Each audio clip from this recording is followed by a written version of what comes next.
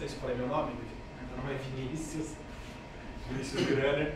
Eu trabalho na Fujifilm há 15 anos, eu entrei na Fuji consertando aqueles mini labs de fotografia, então passei todo o ciclo de fotografia dentro da Fuji.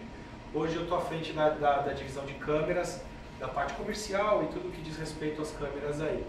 Aí quando a gente voltou para o Brasil ano passado, a gente pensou, o que, que, que, a gente vai chamar? Qual é o apelo principal?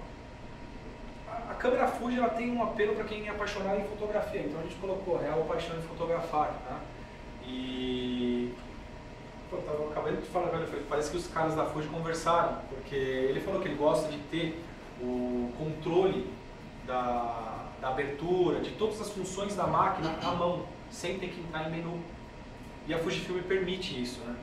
Por que, que eu coloquei essa foto aqui? Porque justamente ela mostra tudo que você pode fazer.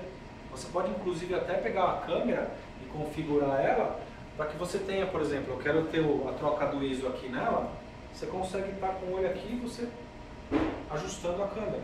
Né?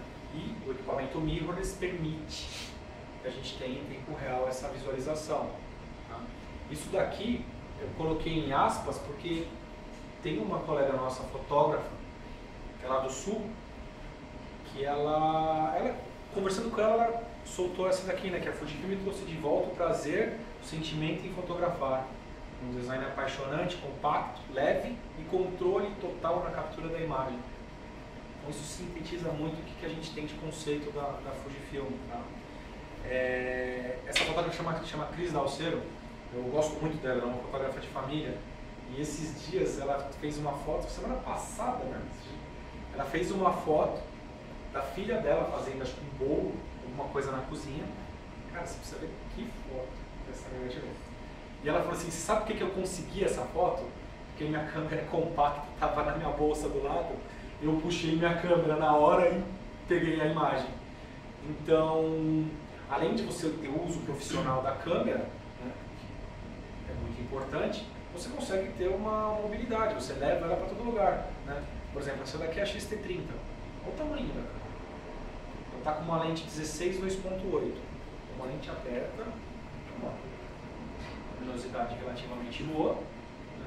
mas ela vai entregar uma qualidade tão boa quanto as maiores. Se você falar em fotografia, ela tem um pouco menos de recursos em vídeo, mas ela grava em 4K, ela só não grava em 10 bits de cor, né? ela tem o fundamento dela de 4K, uma baita câmera, super compacta.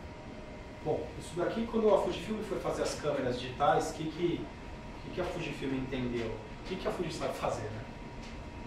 Não sei nem o que dizer, isso aqui é, é clássico, né? Fujifilm tem um know-how de mais de 80 anos na produção de filmes, então cor é com a gente. A gente tem um processo ciência de cor já no nosso DNA. Então, eles falaram, pô, a gente vai fazer uma câmera, ok.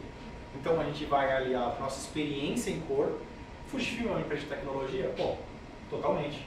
A gente desenvolve equipamentos para a área médica, é, lente para satélite. O Fujifilm tem uma gama de produtos de alta tecnologia juntou tudo isso com os conceitos da fotografia e chegou numa câmera compacta. Isso é muito importante, a gente sempre fala. É importante para a Fuji isso. O pessoal fala, ah, por que, que o sensor da Fuji não é aquele maior? Né? Sabe qual que é o tamanho do outro? Mas porque foi uma opção da Fujifilm. Né? Não foi porque, ah, não quero, a Fuji é chata, isso aqui. Não, foi uma opção para você ter um, um conjunto que vai ter uma entrega de qualidade, tão boa quanto, num um conjunto compacto. Isso é muito importante para o conceito que a gente quer levar. Esses gráficos aqui, o que, que querem dizer? Isso é da Ásia, tá? Do, na verdade, as vendas do mundo inteiro de câmeras. Uh, o que está acontecendo com o mercado de câmeras? O, o, volume de DSLR ele vem caindo, as vendas. Só que ele vem caindo mais ainda o valor das vendas. O que, que significa isso? Que as câmeras mais caras, elas não são, são vendidas no DSLR. Ou seja, os profissionais de fotografia, os entusiastas, quem conhece de fotografia, está partindo já para a tecnologia. Isso indica que os tops, o pessoal que está lá em cima, está caminhando já para a linha mirrorless. Por quê? Porque a mirrorless ela vem crescendo em volume de vendas, mas ela cresce mais ainda no valor da venda. Ou seja, eu estou vendendo equipamento mais top de linha.